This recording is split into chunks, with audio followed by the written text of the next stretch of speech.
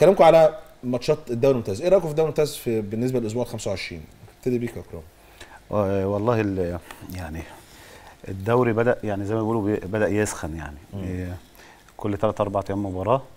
آه، الدوري صراع ال- المنافسة صراع قوي جدا ما بين الزمالك بيراميدز أهلي. آه، وداخل معاهم فيوتشر وسموحة بيقدموا مستويات آه، كويسة.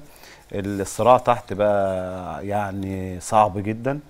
آه، أعتقد الدوري شكله السنة دي آه، يعني مش هينتهي إلا في ال- الأسابيع الأخيرة. الأسابيع الأخيرة. الأخير يعني. آه آه الدوري شكله كده هينتهي في الآخر.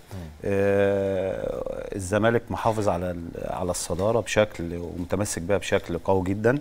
وماشي بشكل كويس. الزمالك بيلعب آه، زي ما بيقولوا ماتشات كؤوس يعني. كل مباراة بمباراتها يعني. مم.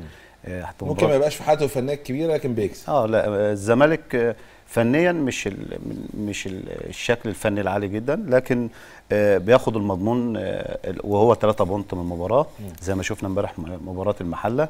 الأهلي ممكن يكون أفضل فنيا شوية لكن الأهلي بيمر بفترة صعبة جدا عنده إصابات كتيرة جدا وتغيير المدربين برضك مؤثر مع الأهلي. تفرق كتير جدا عدم آه، عدم استقرار غير طبيعي في الأهلي.